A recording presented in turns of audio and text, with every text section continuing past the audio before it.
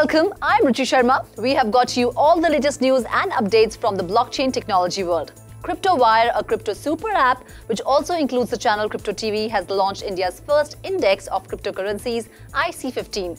The IC15 index is aimed at helping investors track the performance of top 15 widely traded liquid cryptocurrencies listed on leading crypto exchanges across the globe. To track the IC15 index and its constituents, download the CryptoWire app from the Play Store.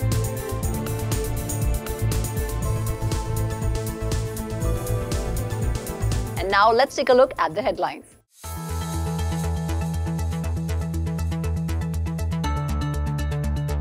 NYSE patent filings reveal plans of digital currency NFT marketplace. Elon Musk hints Doge may be used as payment at Tesla charging stations.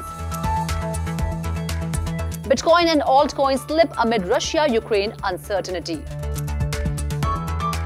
US lawmaker introduces bill to protect privacy in crypto transaction. OpenSea smart contract upgrade to delist inactive NFTs on Ethereum. Russia passes law to seize illegal crypto holdings of government officials. After SundaeSwap, Cardano to launch another DEX in February. Terra Union to offer credit checks for blockchain lenders. SEC chief says approval on spot Bitcoin ETF only after ensuring safety.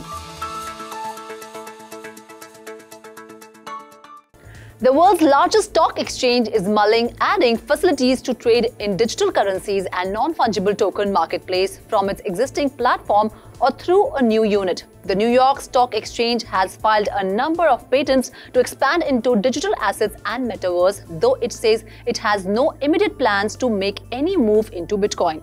The Intercontinental Exchange owned exchange in its patent filings on February 10, which was made public, applied to register NYSE for goods and or services that it may create and offer which relate to digital assets, tokens, NFTs and metaverse related technologies such as augmented reality.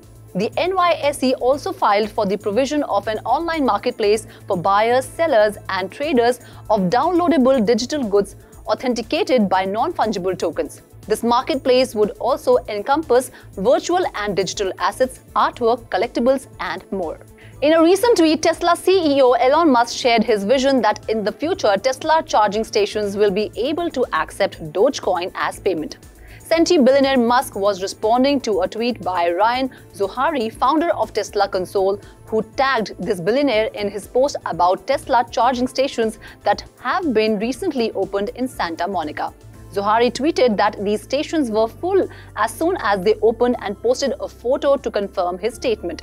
Musk responded that Tesla plans to also open a futuristic dinner drive-in theater in the Hollywood area. The tweet from Musk was welcomed by the Doge community regarding the future of world's largest meme coin. Doge was recently seen at 0.1412, up 0.2% in the past 24 hours, especially when the cryptocurrency market was in a sea of red.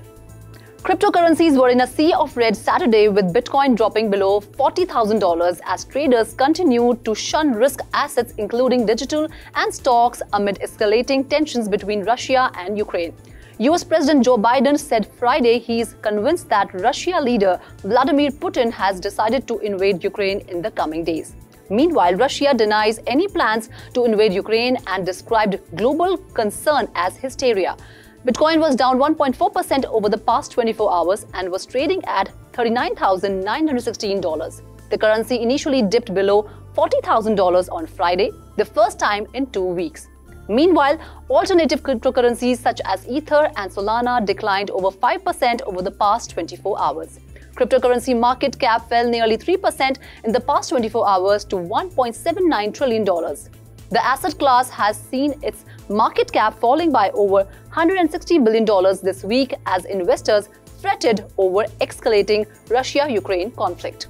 Warren Davidson, district congressman from the American state of Ohio, has introduced the legislation entitled Keep Your Coins Act to protect Bitcoin and crypto investors from overreaching legislative action.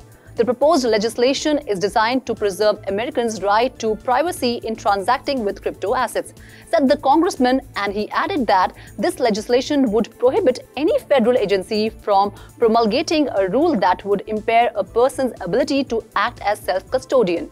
This bill comes after Canadian authorities seized 34 crypto wallets tied to trucker Freedom Convoy and froze millions in cash donated to the ongoing protest over COVID 19 policies.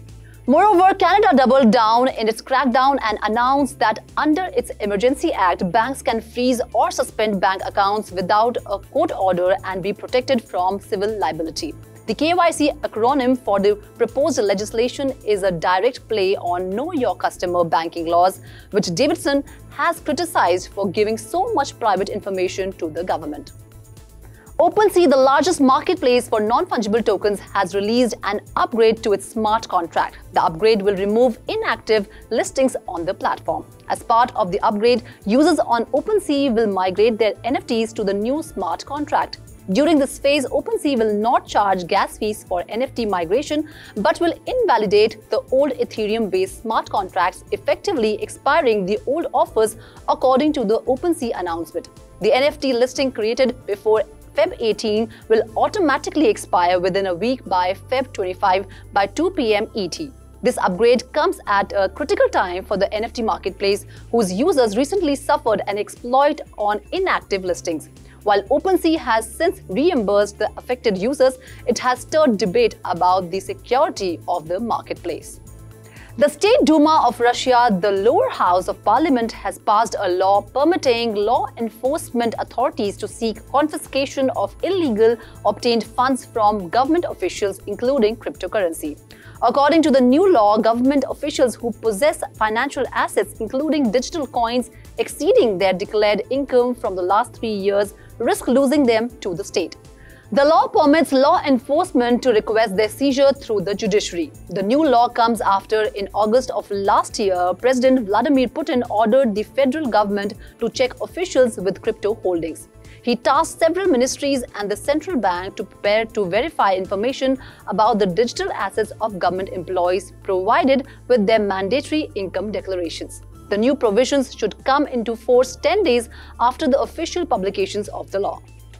Input Output Hong Kong, the crypto company behind Cardano, in a series of tweets hinted the launch of the first public version of its Cardano decentralized exchange named OccamX in February on Milkomeda mainnet. The OccamX DEX will allow users to earn, swap, and provide liquidity to a large number of Cardano native tokens available on the market. Along with the DEX, a native token called OCX will also be launched, which is going to serve as the incentive unit powering an ecosystem agent interaction. However, of the 100 million OCX in circulation, only 30% will be released to the community with 50% set aside for future use and the remaining 20% is planned to remain with the Occam team. The first DEX launched on Cardano, SundaeSwap has managed to rise by 185% since its launch last month and currently holding $124.5 million in total value. That's all in the bulletin for now. Do like, share and subscribe to Crypto TV. This is Ruchi Sharma signing off. Keep watching Crypto TV.